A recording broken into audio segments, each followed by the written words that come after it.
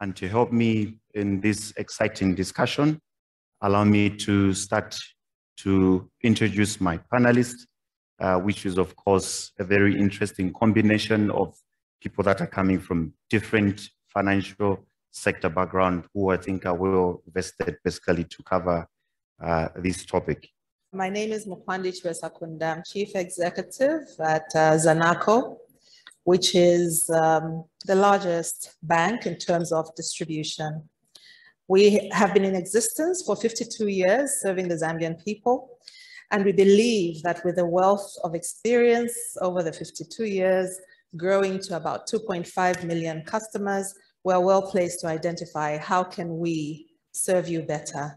And that is why I'm here today to identify solutions jointly and also to share what we're doing in Zanaco. Thank you. Thank you. I'll move on to the next. Uh, thank you for having me. Uh, my name is Evelyn Kaingu and I'm the co-founder and CEO of Lupiya. Uh, we are basically a fintech that provides online loans to individuals and businesses. And as I said on this panel, I'm here to challenge the banks that 65% of uh, individuals in Zambia are still uh, financially excluded and 70% of that is the women. And so with our platform, we've embarked on providing uh, financial solutions for this demographic as we still feel that banks are not attending to the financial needs of emerging markets. Thank you, Evelyn. I'll move on to Madam Kara. Thank you. My name is Yaza Kara. I'm representing Stanbic Bank. My role at the bank is um, I look after innovation as well as partnerships. Stanbic Bank, uh, our, our mission is Zambia is our home. We drive her growth. In that aspect, we are passionate about how we build Zambia's economy through financial inclusion and ensuring that we provide financial services that are valuable to our citizens. Thank you. Thank you so much. Uh, last but not the least on my panel, let's see Dr. Mungule. Uh, good morning, uh, fellow participants. Um, I'm from the Bank of Zambia um, in the uh, research and regulatory policy of the bank supervision department. Um, I'm privileged to to, to be a panelist in the midst of the banks and uh, the, fintech uh, so that uh, probably can provide some uh, some regulatory cover. Thank you. Um, thank you so much. And of course, to moderate uh, this session, my name is Moonga Hamukale. I'm basically senior manager within the PwC advisory practice focusing mainly on corporate finance and so the question in particular, which I have, um, Mukwandi, especially in particular to yourselves and Zanaco, is um, where do you see the opportunities to save this market segment in a way that creates, of course, a win-win uh, situation uh, that is micro entrepreneurs and SMEs having access to the financial services that grow and expand businesses, while banks at the same time continue, of course, to maximize uh, on their profit return. Thank you for the question. As I said earlier, uh, we believe as commercial banks that we have a role to play in our communities. And oftentimes, even when we do play that role, um, it's not recognized as such. So for example, as Zanaco, uh, we believe that SMEs are the engine for growth and the growth of any economy, including Zambia. When you look at the type of SMEs that we have in the Zambian market, most of them are in the agriculture business. And we have solutions such as AgriPay, which is actually intended to make sure that the farmer is able to provide their inputs. We participate in that for the 1 million farmers in this market. We also then feed in through whatever sales they have to make sure that their product gets to market. And within that process, we're also eliminating the middleman because a lot of the time the farmers don't get the right pricing. So our view is that beyond just lending, we're also creating that whole ecosystem that enables the SME to grow. Where it comes to the female sector, as women, interesting panel that we have here, um, which implies where the market is going. And um, we believe that we have solutions for women. We have, actually, we just call it women's banking. And within that product, we're able to then deliver services. We recognize that actually, um, over the years, it has been shown that women are actually better payers of loans than men are. And so we have been able to pull together products that serve this particular population. And beyond that, to recognize the segment for who we are as women. Finally, in terms of digital services, that is the lowest cost way to serve uh, the wider segment that has often been unbanked. And we recognize that as banks, we have not necessarily served this segment as well as we could. But if you look at the last two years, there has been a shift. A lot of the time you'll find that we have uh, multinational operations, we have uh, MNOs uh, who deliver mobile banking solutions. At the back of those MNOs are actually commercial banks. But we jointly deliver these solutions to the market, the lower end of the market, so they're able to get that low amount of money in terms of the, um, the loans that they require on a day-to-day -day basis. But at the end of the day, they're able to then keep their businesses going and keep growing. So what we do is we partner with the MNOs, we partner with um, the cooperatives on the ground for the farming uh, community. We partner with the women in our society to make sure that we're delivering the right solutions to grow and be relevant going into the future. Finally, talking about sustainable uh, solutions, we as Zanaco have put together a product that we believe is going to be a game changer because having seen that Zambia has the highest uh, level of deforestation on the continent, Africa, and fifth in the world, we came together with WWF and Kukula Capital to put together solutions that will then cater for that. We went on the ground. Actually, um, Sarah Bloom is here, I must mention, that she facilitated that for us. We went on the ground jointly with WWF and the British High Commission and identified issues jointly with the Minister of Green Economy, identified what the issues are on the ground. Those are our customers. We found that some of those um, farmers on the ground are actually banking with us. So a lot of the time we misunderstand the nature of our clients to just be a particular segment, but we cut across the various pieces. And what we need to start doing is to reimagine how can we serve these clients better? And the only way to really serve them better is to talk to them, go on the ground. Unfortunately, COVID is creating a bit of a challenge currently, but we believe that by engaging our customers, by engaging the community, by working together, we'll deliver those digital solutions, those sustainable agri solutions, so that people are not actually deforesting Zambia, they're actually doing other things, beekeeping, that will then give them that capacity to grow, but at the same time, keep the environment safe.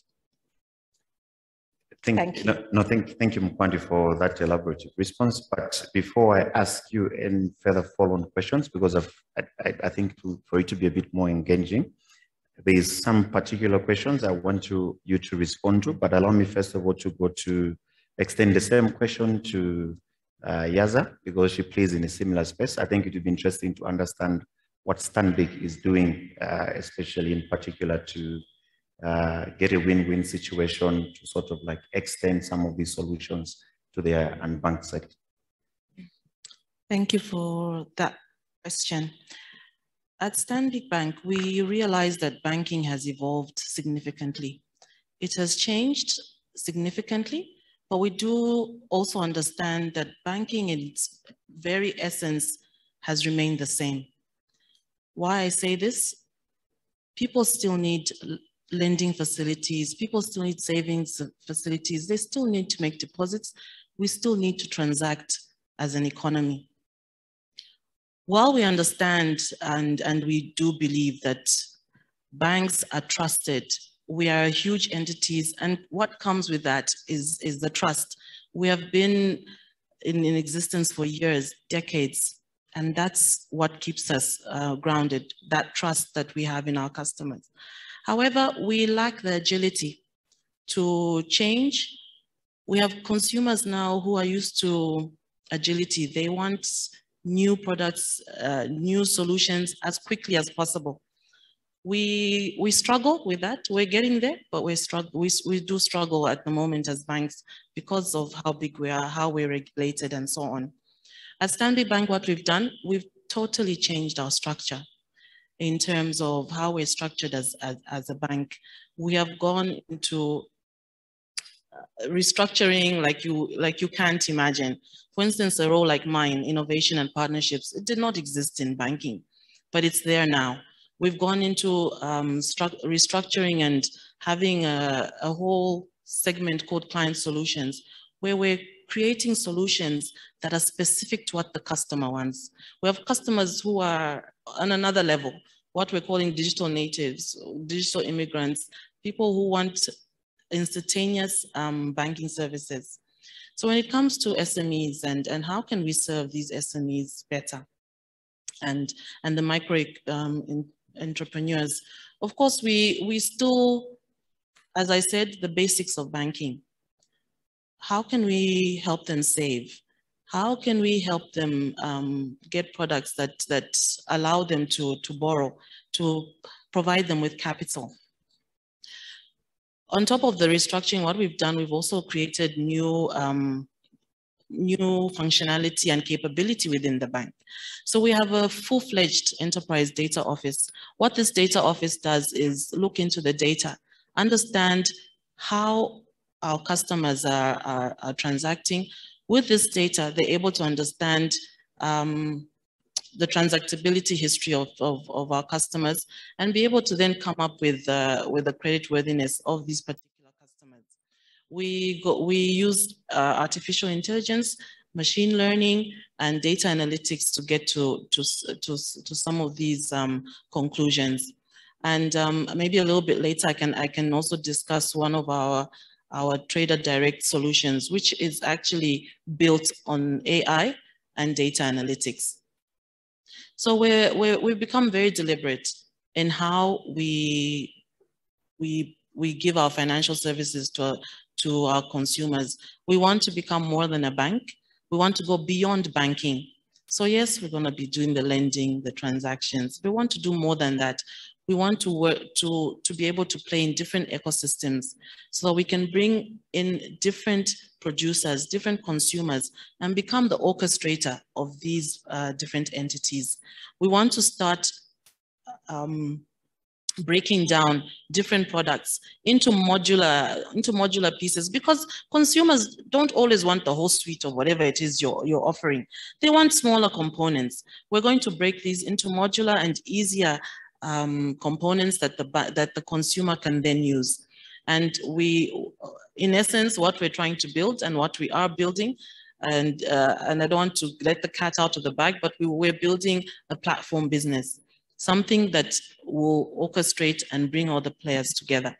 So um, we're going beyond banking. We're becoming much, much more than a bank. Thank you. Sure.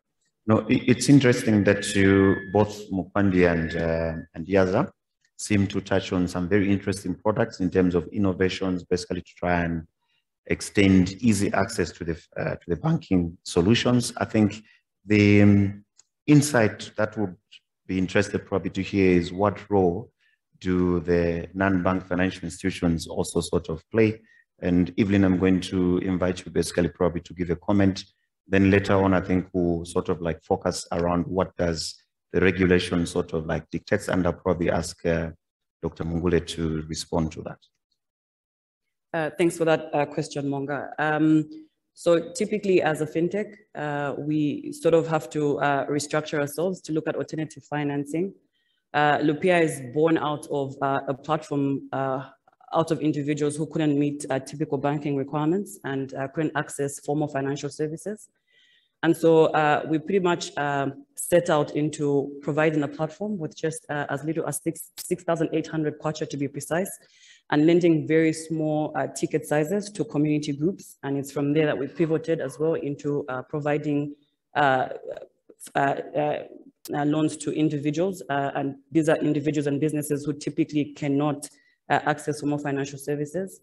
And so what we've just um, built upon is just being a tech-enabled business is to sort of look at the data points that are available, which is very hard to find as, as a fintech institution, and to start, to start building products and services that really address a very big underserved market. And this is something that we have done as, as an institution. Sure. And um, so, I mean, we are very happy with the sort of traction and progress that we have made. Uh, uh, it's not a very uh, easy uh, journey to embark on uh, certain uh, products where market segments can provide the information and being a tech-enabled business, this is what we need to think about all the time and how we really deliver our products the last mile.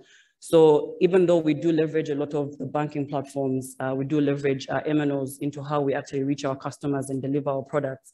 But we also then still remain uh, cognizant of the fact that um, uh, we still need to deliver a product to, to gaps that are not being uh, technically uh, filled. And this is where we have come in as an institution and uh, looking at our journey, it's been one where we've grown for the last five years with very small resources and bootstrapped our way into where we are now uh, where we just recently got our pre-seed investment uh, from Enigma Ventures and then just recently from Google.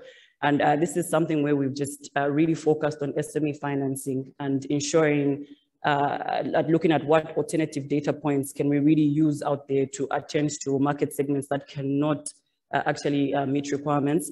So um, the big question for us lies in, can we provide SME financing without financial statements? which we are uh, looking at seeing whether those possibilities can happen. Can we uh, look at uh, providing uh, financial uh, solutions without even looking at um, uh, bank statements, for example? And so this is some of the things that we're looking at because the markets that we are looking to save do not have this type of information. And that's sort of what we have embarked on as a platform and ensuring that we can provide financing. Sure.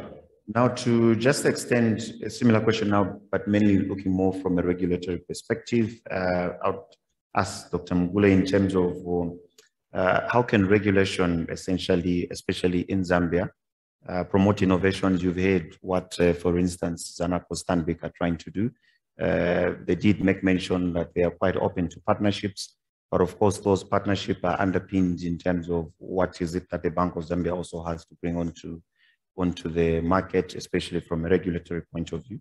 So the question really is, um, what is it that as a central bank that you're actually doing to make sure that the financial inclusion sector, while protecting the consumers and ensuring that there is responsibility done, but at the end of the day, you also want to make sure that uh, there is sort of like mutual engagements between the financial uh, solution providers vis-a-vis -vis the consumer. Thank you so much. Um, the the role of the central bank is uh, basically to uh, to make sure that um, uh, the market, the financial market, is um, is is stable, and uh, that uh, consumers are protected. Consumers of the financial products, uh, being it banking products or payments products. Uh, so you can see that um, with the coming on board of the uh, uh, ministry responsible for green economy, uh, there is a lot of appetite. The appetite for from the financial institutions has gone up in terms of trying to, you know, to get into the market and uh, get a share uh, of a share of profits from there. So now, what what uh, what we are talking about uh, is something surrounding the, uh, the electronic payments upgrades systems. So you, you, you currently we, we have the national financial switch and uh, all these players are connected and they have individual uh, you know, systems uh, to serve their to serve their clients. So now the the issue is at what cost are these financial institutions going to provide these uh, uh, innovations so that they reach, uh, you know, rural areas um, where we have a lot of uh, people who are underserved. Um, so we're looking at uh, uh, discussions around um, improving on the infrastructure, financial market infrastructure, uh, to, up, to upgrade it to uh, ISO 222, and, um, and also by providing a shared agent banking platform, uh, SFBAP, uh, which will provide a switch for interoperability of agent transactions. So we've seen that uh, to get into into into that uh, space uh, requires that. Also, uh, what we have at the moment is that uh, there is some little bit of a gap in terms of the provision of an electronic wallet, which is a electronic wallet platform, um, which needs to be linked into the national switch. And um, so once that is done, then um, um, the bank will then, you know, help government in trying to uh, bring on board all those um, individuals who may not have a formal bank account, but they can access uh, financial services uh, through what we are calling some uh, agent banking. Uh, and that is under our uh, you know, strategy of um, uh, greening the financial, financial sector. Secondly, um, banks are using um, artificial intelligence systems and, um, and in, in terms of their operations, collection of data, and, and so on and so forth. So we, are, we, are, we have discussions surrounding the, the supervisory technology uh, SupTech. Uh, so we have to move from the current uh, uh, paperwork into SupTech, which is a data management and, uh, and use uh, platform for us to make timely decisions as, as a center. Um, so this will be meant to develop um, and, uh, you know, in, integrate artificial intelligence in regulatory and supervisory structures.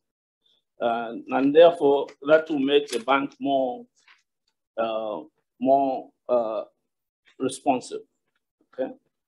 Uh, because as a central bank, our, our precondition is to minimize the risks, the risks that uh, that arise as a result of the regulated entities operations so that we maintain a stable financial system and um, we, main, we, we maintain lower costs.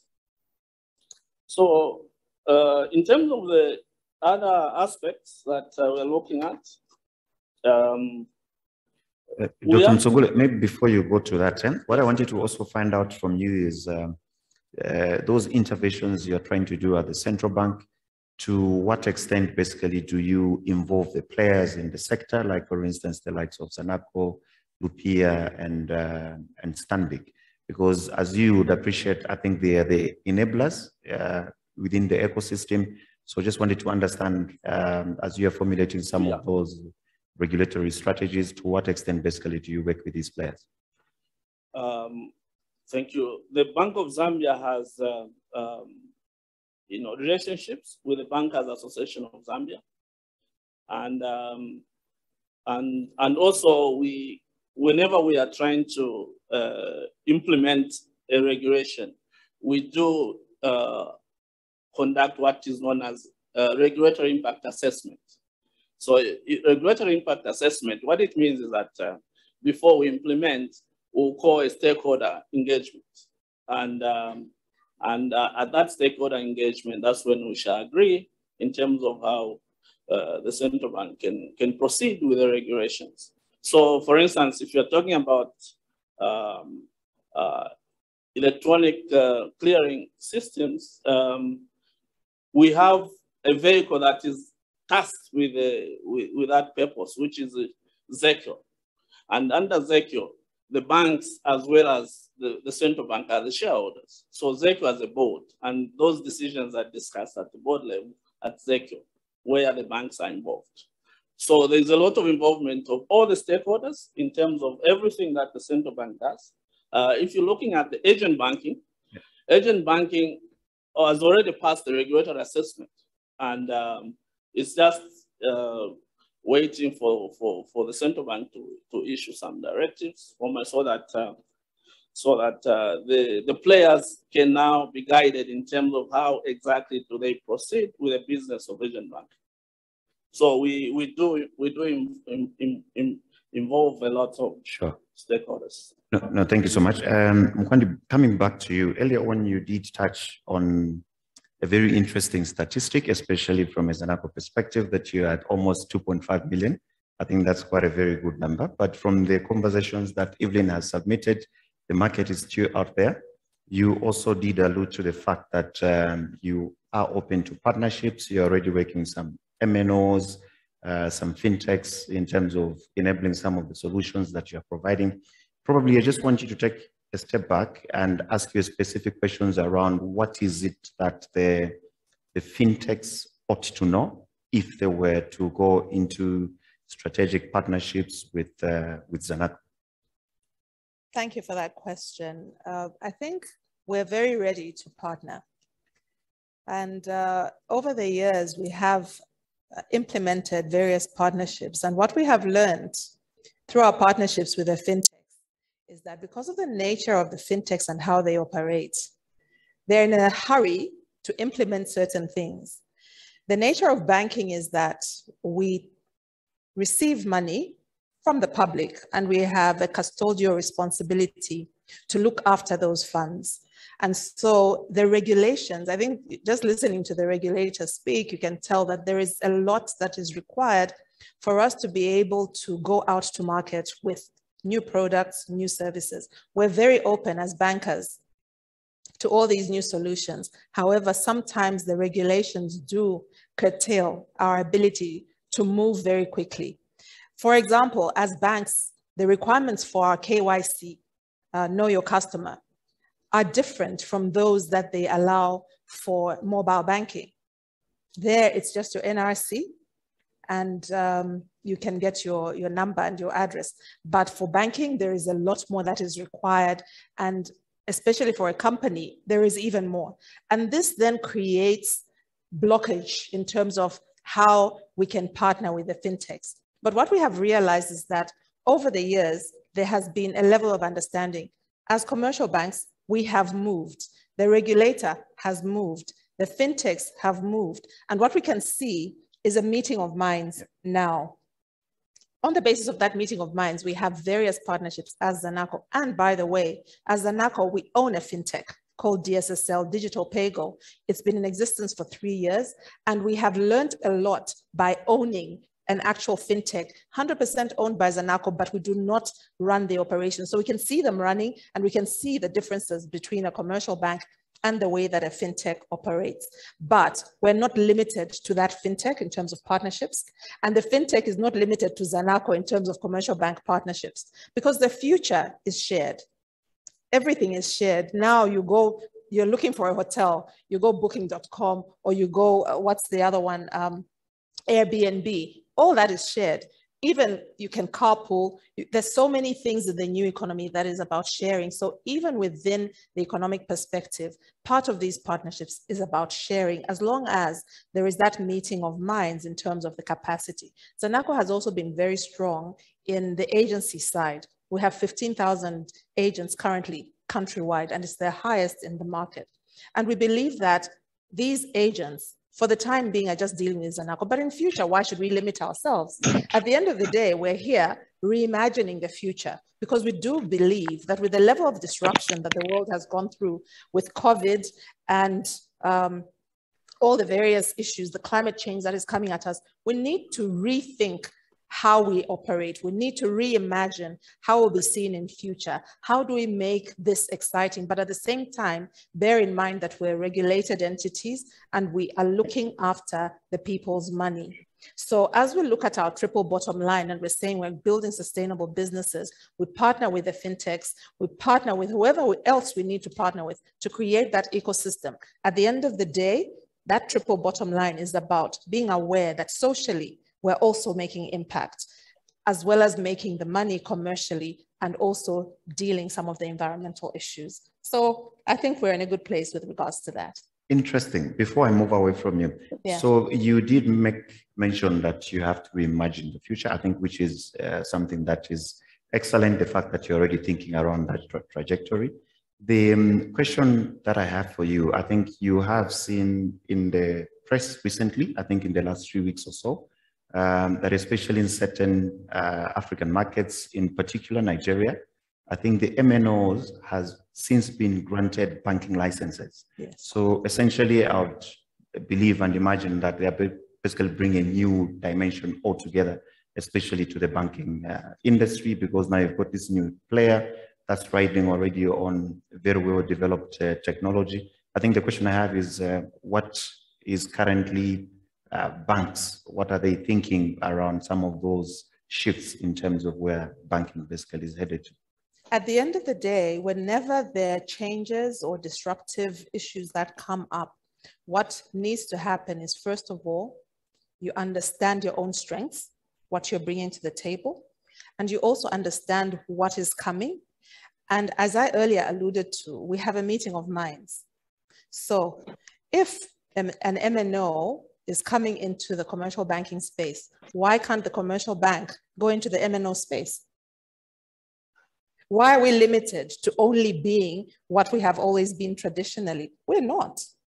And if you look at what's happened in, in Africa, commercial banks have gone into MNO space and they're delivering very well. So you can have on your SIM, you can have a SIM overlay on your phone. So it, uh, it's agnostic as to which uh, MNO is behind whatever the phone is. Financial services are based on that SIM overlay. All you need is to buy that SIM overlay and put it there in the phone sure. as a bank. So we're now looking at, okay, what should we be doing in this space to make sure that we're also growing? Because at the end of the day, business is business.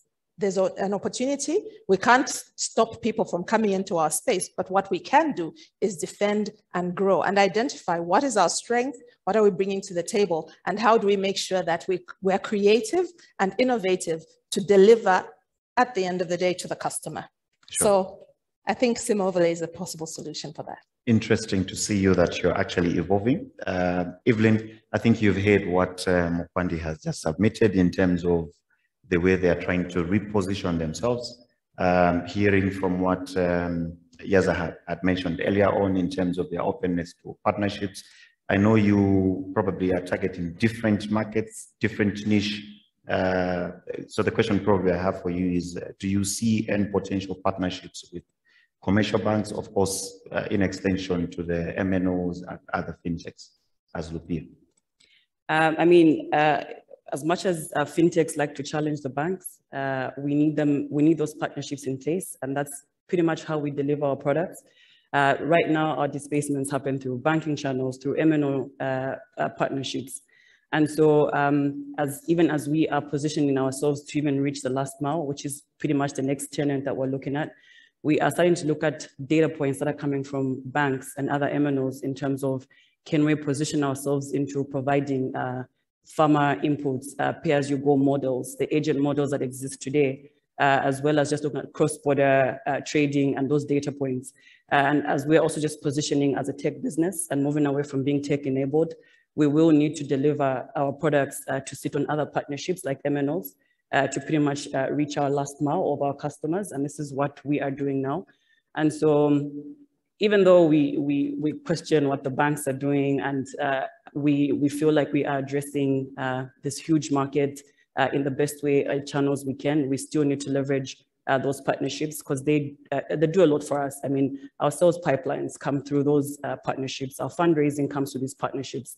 Um, a, lot of, a lot of data that we use comes through these partnerships. And so uh, even for us to even uh, put out a valuable product that's going to really address these markets, uh, it's going to come from banking partnerships, as well as MNOs or other organizations out there that are supporting us uh, supporting our agenda to uh, push financing into SMEs. And this is where we've uh, positioned ourselves as a fintech as well. We can't do without them. And we really are engaging them to ensure that uh, we reach our customer bases with these partnerships. Sure. Um, Yaza, coming to you. 2019 was an interesting year for Stanbic. Um, you did publish uh, an annual report, which basically you launched a trader stock uh, advance in partnership with a uh, financial technology company. Probably just for the benefit of the audience, are you able to just uh, tell us briefly in terms of what this partnership was all about, what kind of traders were you targeting, and how basically can they get access to it? Okay, absolutely. And, and this is um, one solution that we're extremely proud of um, at Stanbic Bank. It's a remarkable trader solution.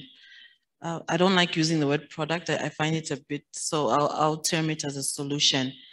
What it entails is um, providing loan facilities to traders.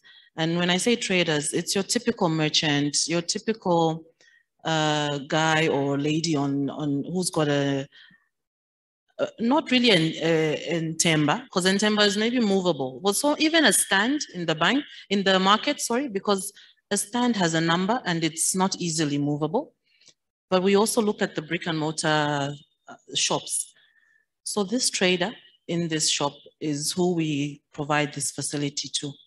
We provide them with a, with a gadget, a device and what this device does, um, and we give them a, an amount, say maybe a 300 kwacha, very micro loan, to give them for one month. And they use the device to transact, whether they're selling talk time, buying and selling talk time, whether they're buying and selling fast moving goods from an entity like Trade Kings or British American Tobacco.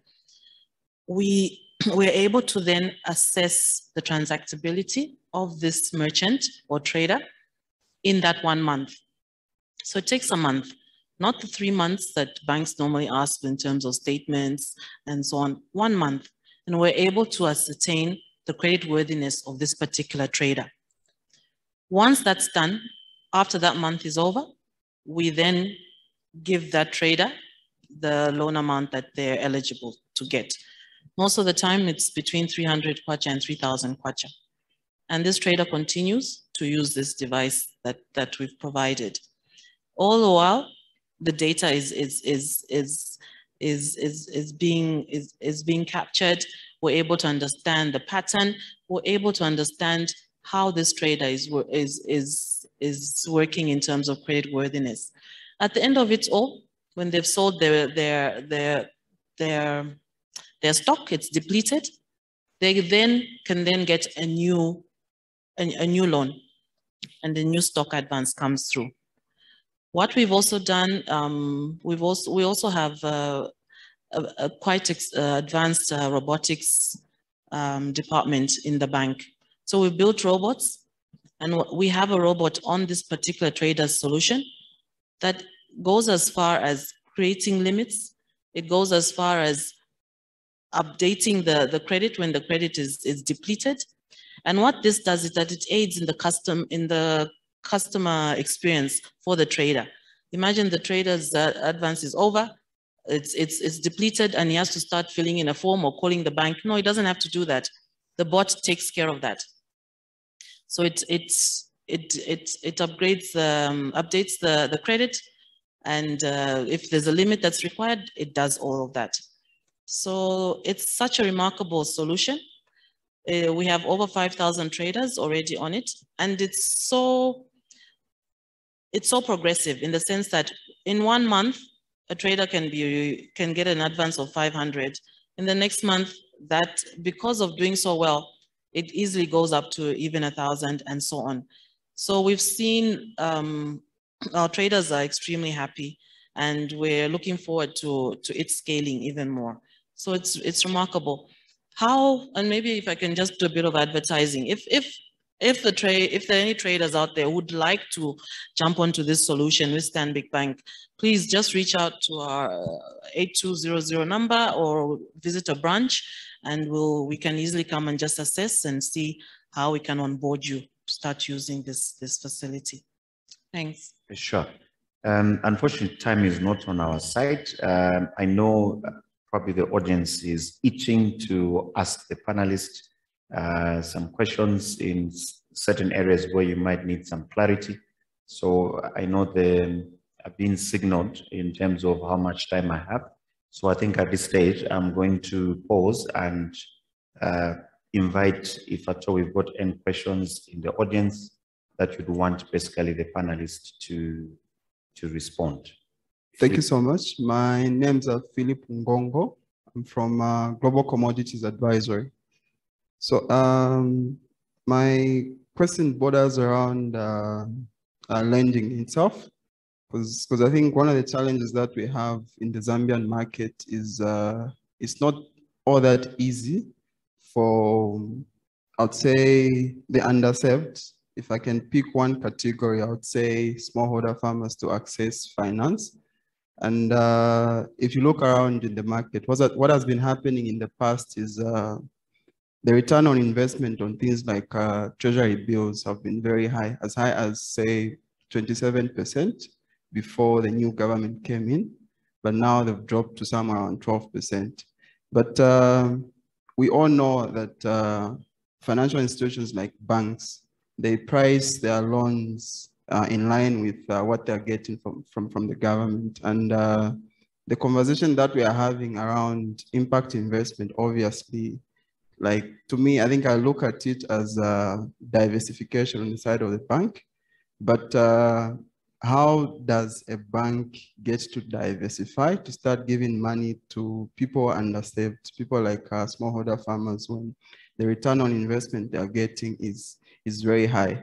So this is a challenge that we have. And uh, I think a lot of people are not talking about this issue.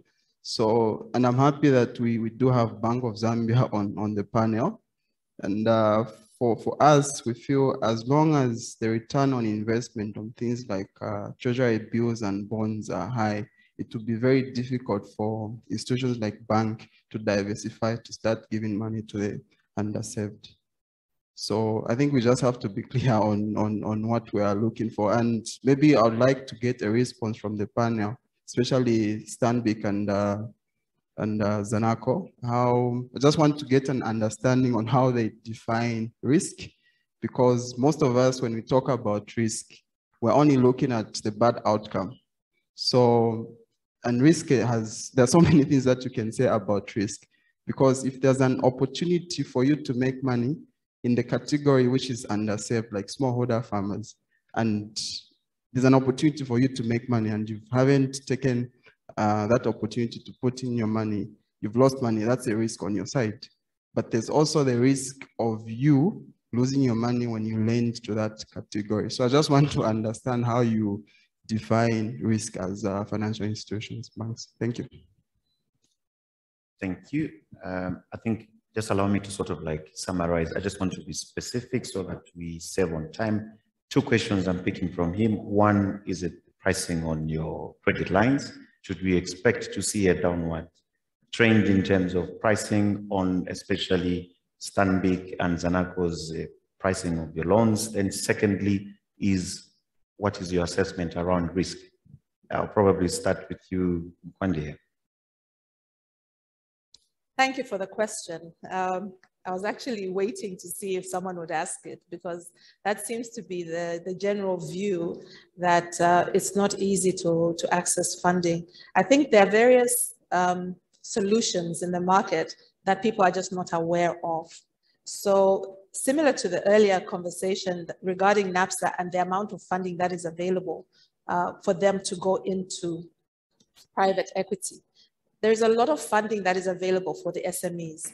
Some of the funding is actually through grants, and it's not just the, the banks. The banks also partner uh, with partners such as Prospero and other such, who can then work with us for the grant side and also work with um, the, the various entities and SMEs to grow you from a technical perspective.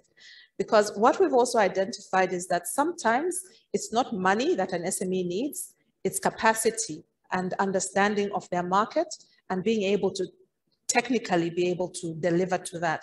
beyond just the money expectation. So we try to train people to understand what they may require their business. And in that training, we then identify who we can lend to. And on the basis of that, be able to lend to them and grow them. So there are various options that we have. And I believe that uh, following this session, you can talk to us about whatever it is that you are looking for. But the nature of uh, banking is that sometimes you'll be able to get the money, sometimes you may not. So in anything in life, sometimes the answer can be yes, sometimes the answer can be no. What you need to understand is when it's no, why? And what can I do about it?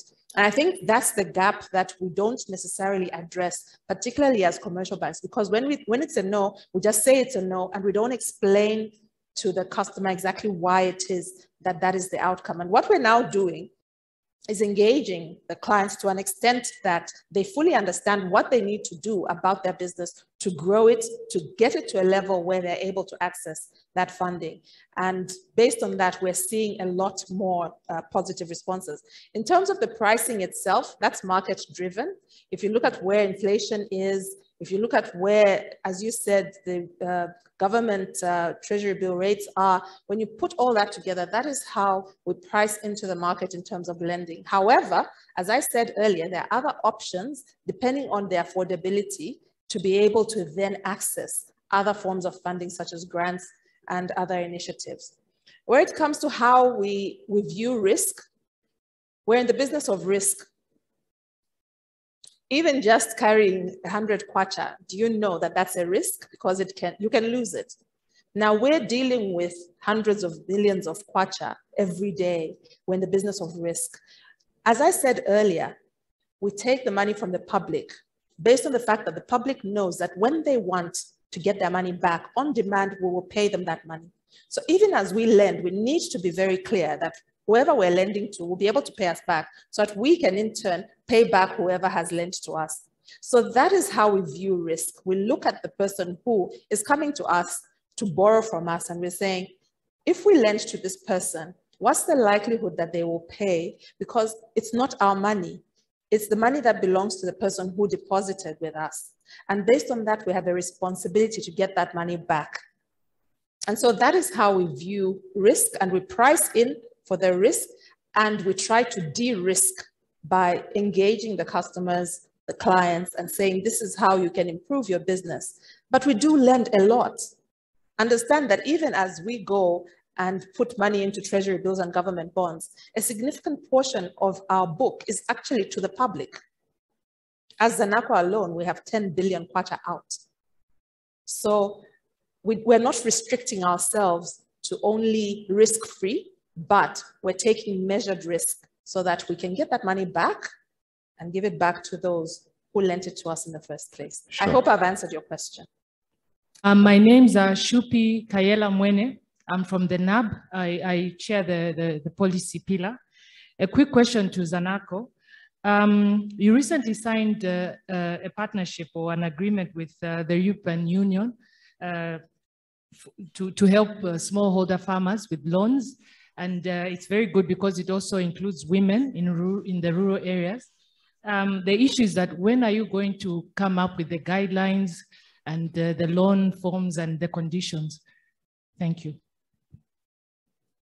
Thank you for that question. In fact, you are selling for us. We've just come up with the guidelines and we've come up with a desk because we have this partnership with the EU, which is a $30 million partnership and it has an element of climate change and it also has an element of gender. So we are leaning more towards those businesses that are responsible businesses that will not negatively impact um, the environment for the future and also for women-led businesses. So we have put together a desk in our head office uh, uh, credit no, not credit, commercial unit that is going to handle any applications.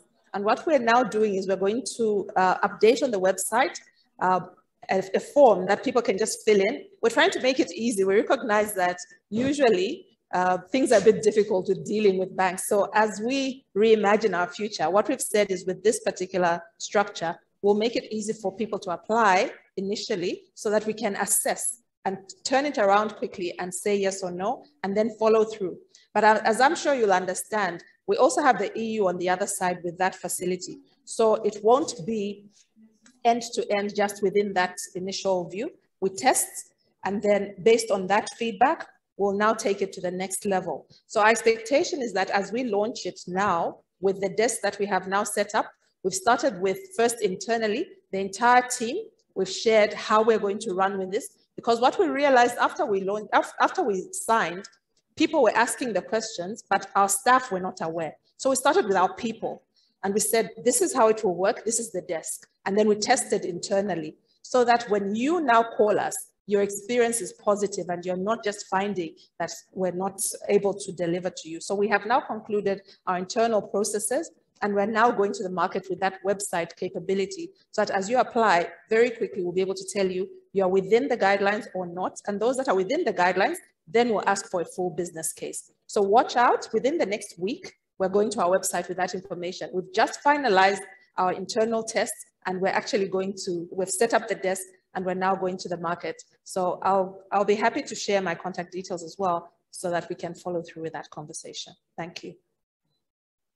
So at this stage, at least allow me to at least get a question from our uh, virtual uh, audience. But however, if you still do have some questions, areas where you want clarity uh, to be provided, please feel free to forward those questions and we will spend time and respond even after the session. The question I have here is, uh, what is the appetite of our banks towards indirect investments uh, that's focused on the underserved community? Uh, an example, an example is basically the big society capital model that's in the UK.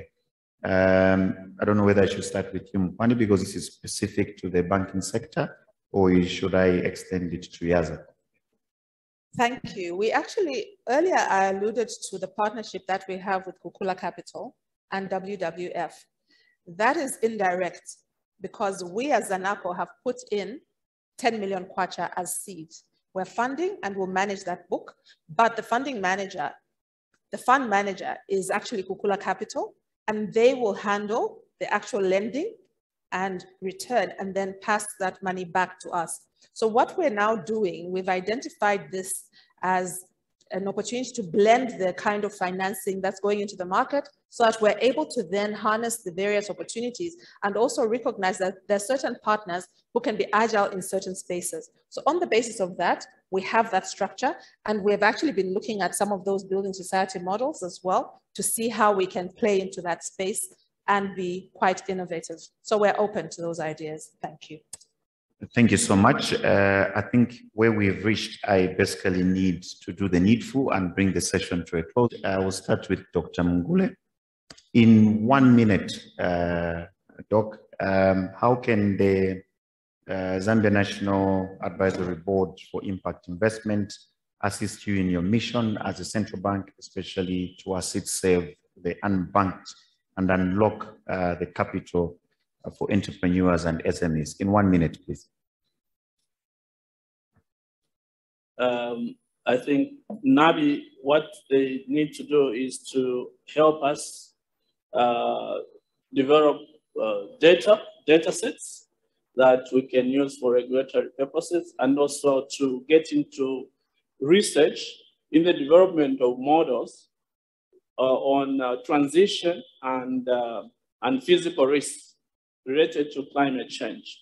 Because then the central bank will have that, uh, those models and the data, and then we shall assist the market in terms of, uh, in terms of reducing the risks and also encouraging more investments. If risk has been regulated properly, then you're going to have a booming market. So I think that's what, uh, in a nutshell, NABI needs to, needs to do. Thank you. Thank you so much. I'll extend the same question to Yaza. Thank you. Uh, the board needs to help us um, really come to the party to become the bridge between ourselves and, and these segments. We want to be able to collaborate and be able to co-create solutions, but with a better understanding of what it is that's required on the ground. We need to be able to look into policy reform and just be able to, to advocate in a, in, a, in a concise manner there's so much um, in terms of data that's out there. How can all this data come together so that it's meaningful and can be analytic and be used to the greater good? We are sitting on, I, I can't even describe how much data that's, that's so valuable. And this data is what will help us in terms of providing all these valuable solutions uh, to SMEs and, and to micro entrepreneurs. Solutions are there. We just need that collaborated collaboration to come together so we can co-create and, and be able to provide some of these valuable um, solutions. Thank you. Thank you, Aza. Evelyn, your remarks? Okay. Uh, I mean, everyone's talking about data, and this is the big uh, gap that needs to be filled up. So even we fintechs need that uh, information to be able to uh, uh, provide meaningful products. But at the same time, we need uh, boards like NABI to really advocate to us with regulators and just ensuring that we can have inclusive regulation for fintechs to operate. And at the same time, um, look at how look at us as very small enablers, but playing a very big role in the ecosystem. Uh, there could be advocacy for startup acts. They've become very big on the continent. Uh, Zambia is still lagging behind. We don't have one. Um, as well as uh, just looking at how uh, we can also, regulators can offer competitive prices. We've seen uh, Sandbox opening up. The requirements are still very stringent uh, for startups. we're still trying to get into the Bank of Zambia Sandbox and we're trying to meet half the requirements, which we haven't yet been able to. And so uh, that level playing field would be very appreciated for boards like NABI to really advocate for us. Thank you. Wendy, in just one minute. Thank you. I'd like to flip the question. What can we do for you? As Zanaco, we're already dealing on the local ground with various partners that can potentially create that value into the future. And we believe that in partnerships, we'll be able to then achieve whatever it is that is the vision for NABI and for Zanaco jointly. So we believe that we're in a good place to share what we're already doing, but to learn and in the process, pull together something that will work for everyone for the future. So we're here. What can we do for you? Thank you. Thank you so much uh, to my excellent uh, panel. Um, as I mentioned earlier on, I think we've now come to the end of the session. I hope you've all enjoyed it, especially to our online guests. Um, I, I hope you've equally followed the discussions. Like I mentioned earlier on, if you still have some questions where you need some areas of clarity or even understand what Zanaco, what Stanbic, what Lupiya is still uh, trying to do in terms of serving the underserved sector, even what the central bank is thinking around the regulation. We do still have an opportunity. There's going to be a networking lunch session. Please feel free to walk uh, to my excellent panel again and have that fruitful engagement. Once more, uh, my name is Moonga Hamukale, uh, and I'm very honored to have moderated this session. I hope you actually enjoyed it. Thank you.